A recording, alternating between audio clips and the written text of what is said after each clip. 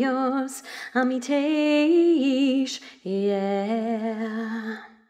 One happy birthday dot com.